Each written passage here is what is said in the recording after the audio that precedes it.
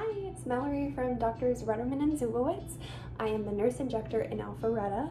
Um, I just wanted to hop on real quick to talk about the relationship between hollowness in the face and how that creates aging and how us as nurse injectors can then focus on the hollowness and aging of the face and fill it to make it look more youthful.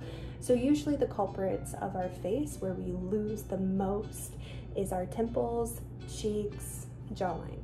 Um, and so when people come in and they complain about skin heaviness or skin hanging, usually it's come from the jaw, the cheeks, or the temples. Of course, everybody ages differently, so some may not have hollowness in all of those areas, but some may. So when you come in to see us, what we do is we look at the face, see how it all works together, and then decide upon a plan of how to improve that hollowness. So we inject into the temples if there's hollowness there, into the cheeks, or into the jaw or all three areas. And with that, that tends to pull some of that excess skin back to where it belongs.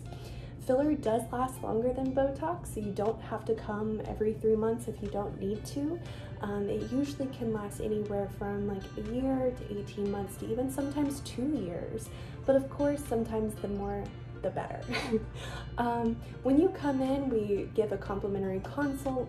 We tell you where you could use some of this filler to help improve the hollowness and aging, and then we'll give you ideas of what we can do for you. Um, and yeah, so hopefully I will see you soon, and if you have any questions, don't hesitate to call off.